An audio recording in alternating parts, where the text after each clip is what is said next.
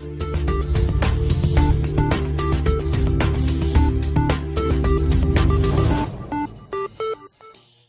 Viewers, today our guest is a girl from Reasi who has topped the Indian Army's Technical Women Wing examination and she is now the third generation from her family to don the Indian Army uniform. Welcome Sonia to Excelsior News. Thank you so much. And uh, to, you know, first accept our congratulations and now tell that uh, Thank you so much. uh, how much serious efforts you put to crack this exam and uh, had you ever thought that uh, you would uh, top the list?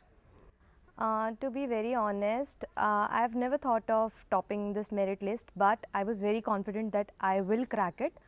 Because coming from a family where every uh, you know um, where my father was an army, where my grandfather was an army, so there was there was something in in me. I think from the very beginning, when I was a kid, there was something in me always uh, pricking me like yes i have to go to army. Army is army is my passion from my childhood only so i wanted to go to army from the very beginning of my life and i was sure that i will crack it but yes it was a blessing of my parents my grandparents and my friends family everyone that i topped the merit list Okay, let's start from your school life now.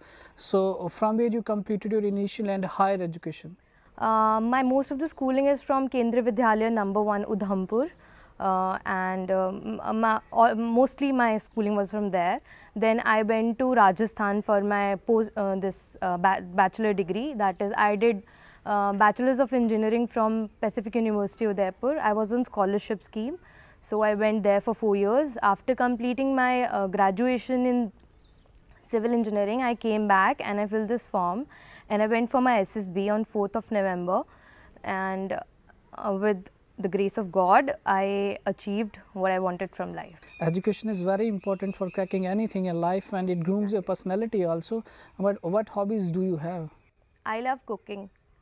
Uh, I am very passionate about cooking. I love singing. I, I am not that, e- that very good in singing, but yeah, I love singing. I love cooking. I have no hobbies like I, I, re- I like reading books or I like gymming, I like sports. It's nothing like that. I'm an average girl, I told you. I'm, a I'm very girly. I like cooking, I like dancing, I like cooking, uh, matlab singing. Things, I don't have such big hobbies like I have to go for this or that. To be natural, to be natural in your personality, how this helps uh, for uh, cracking the competitive exams or how it reflects your personality in the screening or whole the process of selection? I told you they take very average student or very average girl. The interviewing officers also co- uh, also asked me this question: What are your hobbies? So I told him I love cooking, I love singing, I love this, I love that. So he asked me why not reading books or something because I don't like it. As simple as that. I don't like reading books. I don't like knowing facts and figures and whatever. Like bookish knowledge, uh, मतलब uh, कितना पढ़ लिया BTech कर ली इतने exams दे दिए अब उसके बाद आप और भी पढ़ोगे और भी books novels I don't like them I'm a very average girl, I told you. I have very girly, girly hobbies and uh, I am very girly. Okay. So, could you elaborate the, you know, uh, exam process that you cracked? Yeah, sure. Uh, because you know the raw minds which are preparing uh, for appearing in these kind of exam it will help them if you provide them a little bit of a roadmap yeah, there's nothing there's nothing very tough there's nothing very uh, you know things very complex in for this exam have to do is uh, i think uh, साल में दो बार दो बार ये forms निकलते हैं इन Indian army की site पे join Indian army go to the site join Indian army dot nic dot in and apply for officers post then uh, they you'll get shortlist on the basis of your percentage like i have opted um, um, i went through this ssc tech w my my uh, stream was technical so i went for the ssb directly but you can go for cds you can go for fcat if you are very much uh, to uh, the defense side uh, so I was from uh, the technical background, so I had my SSB directly. I, I got shortlisted on the basis of my aggregate percentage in my BTech up till sixth semester. Then um, after then when I got shortlisted, I got the call, I got the message from the authorities and I had my SSB. I had 18th Allahabad board and I went to Allahabad. Uh, my father accompanied me Uh, I went to Allahabad. I reached there on 4th November. Then I had the whole of the process. First day was screening. Then I got screened in. Out of 100, I think 24 of us got screened in. Then we went for a psychology test, an interview, two days GTO task, and then the conference day. Then out of the 24 girls, we three got recommended.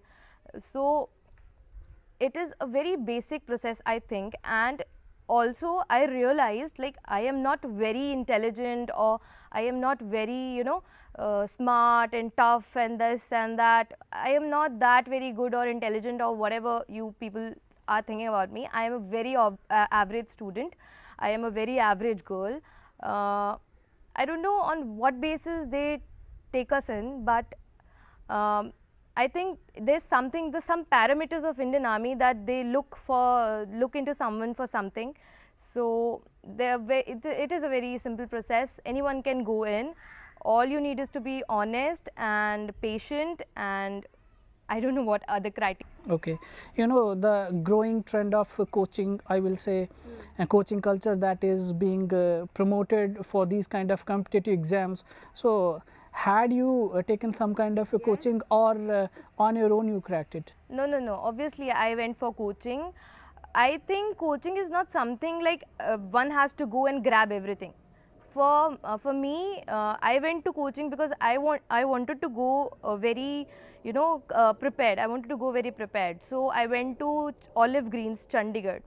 One of our relatives suggested us to go to Olive Greens, Chandigarh, and I I can tell you, uh, I am 90% uh, confident about things in me. But they polished everything everything in and out in me. So that helped me a lot. One should take coaching. I think coaching is good. If if you are 100% confident that you can crack it without coaching that is well and good. That is very very good. Excellent. But i think people like me who think they are average and uh, should go to coaching and sh should take a mentor should take a mentor and go for things like that. Okay. That is you know bookish or technical knowledge we are talking about. But uh, the field which you have opted uh, physical fitness is equally important. So how you uh, maintain that aspect of uh, getting physically fit? Uh, मैं I was not a very good uh, physically fit. Uh, I, I, I, I can't even tell you I was overweight. I was overweight by 8 kgs. When I, when I got recommended and I had my medical there, then I was overweighted and I, I had 42 days to reduce my weight. But with because my father helped me a lot in this and my mother, they uh, you know उन्होंने मेरा diet पे control रखा and then uh, मेरे को jogging, swimming, gymming, everything I did for this. And I lost my 7 kgs of weight in 36 days. And I, then I went to Northern Command Udhampur for my weight and I got medically in also. In, uh, medically in also. Now I think after doing all those things, I have been 40-50% uh, tougher, which I was before. So they uh, after going to the academy they'll make me a 100% tougher girl i know but now uh, i think i am 40 50% tough Okay, now come to the serious part of the conversation. You know, uh, Jammu and Kashmir has very less percentage of women in belt forces, hmm. very less percentage. So you now will set an example or open that uh, you know barrier for the uh, women or the girls. So what reasons you find for this that uh, uh, girls don't opt for uh, belt forces? So how you will change this notion for the parents and society? Uh, yes, I agree to your point. Not only from Jammu and Kashmir, from all over India, women's are very less uh, in the uh, belt forces or defense forces. Uh, I think the only reason behind this is the mindset of people that defense is not made for girls. I totally disagree that defense is made for girls. Women can do anything. We can do anything whatever it takes we um, matlab, I I personally think like, like boys can do 50% uh, of things and girls can do 100% of things so I think I can only request to people, I can only tell people that yes, we are made for defense forces. Yes, we can do things like boys can do there. Yes, we can go to fields. Yes, we can do everything. So I can only request to people and women and girls out there uh, all over India or all over J&K that please let your daughters do whatever they wish. I, I don't think like everybody should go to defense or everybody should go to the belt forces. One should do whatever it you know whatever the heart says so everyone should do whatever the heart says So, you know, parents play very important role, family plays a very important role. So, the, uh, the families and the mindset of the people is changing, but still much more needs to be done. So, what, how you will comment on this issue? I am very blessed that I have such beautiful parents with me who have supported me right from the beginning. I belong to a very small village, far flung, that is a far flung area, and my, because of my parents' efforts and my grandparents' blessings, uh, they we came to uh, the city and I had my schooling and everything from a good area and a good school and so I think parents play a very big role, especially the mothers, because uh, a children is very much close to their, the, all the children are very much close to their mothers and I, I am very close to my mother. I think mothers play a very good role and a very uh, bright role in one's future. So um, I think uh, parents, yes, parents do a very, uh, you know, important role in our future, and I, my parents have done a very, very Played constructive role yeah, in your life. constructive role in my Okay. future. Okay. So, since you talked about your roots that you belong to very far flung area in Reasi, uh, but your schooling has been done in uh, Udhampur, IKB Udhampur. So, you would not have uh, feel that fever of uh, you know the infrastructure issues or uh, the availability of schools or various other issues that uh, the um, far flung areas do face.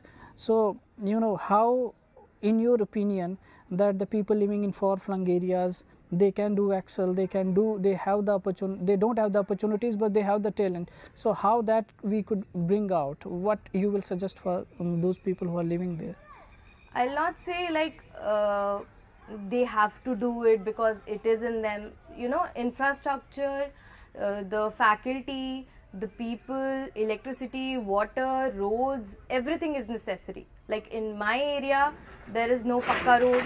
Uh, the school is two kilometers, uh, you know, far from our places.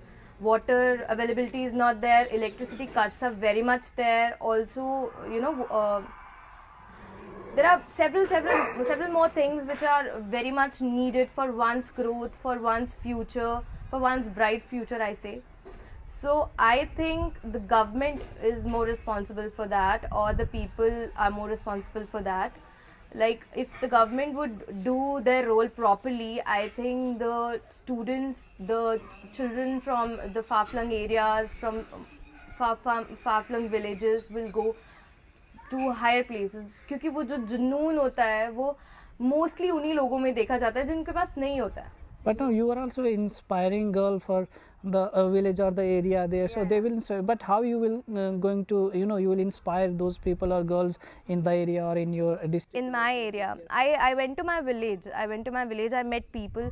Actually 63 rr organized a rally for me not because of 63 rr i went there but i also personally wanted to go there and meet people because everybody is giving call to my father and my mother and they are praising uh, like their efforts my efforts and everything and i wanted to go there i went there uh, 2 3 days back and i met people i talked to people i talked to girls so i think i have talked to them like कि करो तुम कुछ बनो you know things like that तो देखते हैं अब आगे क्या बनता है Okay, so it means you were predetermined to crack this exam. You had already planned for, uh, you know, going in the uh, belt forces. But uh, the youth uh, today, you know, they approach the things, you know, accidentally, I would say, because the rising graph of unemployment and uh, compels them to go and opt for every kind of a job. Uh, to recruit for every kind of a job which may you know they put or get into. So don't you think that uh, the present youth is confused about uh, uh, the issues related uh, with them? Yes i totally agree agree to your point but i don't think they're confused. Actually there is lack of jobs in our uh, in our state you very well know about that. Uh, there are so uh, you know there is there is no opportunity for people here. Like uh, there are so many graduate postgraduate uh, people are there in our the state. I'm not talking about other states but our state. But there is so uh, so less number of jobs in our uh, this state. And uh, what do we do? If some if people like me are opting engineering and there is no scope of engineering there is no job for engineering then what will we do? We'll, we'll opt teaching we'll opt some other jobs so we are not confused we are we are lacking jobs here I think. Okay, so how do you see your contribution for the organization or the field that you have chosen? How you see that vision or that perspective of life, a professional life now? Actually, uh, to be very frank and to be very honest, I don't know how I'm going to help them or what would be my contribution towards my country. But yes, I would be 100% contributing towards my country. I would do whatever it takes to be the pride of my country. I would take whatever it takes. I would do whatever it takes to be, you know, the soldier, the girl soldier, the woman soldier, or whatever it takes me to be the best in them. Okay, so what message you would give to the youth who wants to follow your footsteps? I have only one motto in my life. Like I, I used to tell everybody that do whatever you want to do, listen to your heart, respect girls, respect parents, and you'll shine like a star. If you'll follow these three things, two things, whatever I told you, you'll you'll shine like a star. So this was uh, Sanya from Reasi who very categorically suggested that be original in your personality and uh, and finally the success will come to you and you will lead ahead in your life the way you want. Thank you Sanya for speaking to Excelsior News. Thank you, Hind.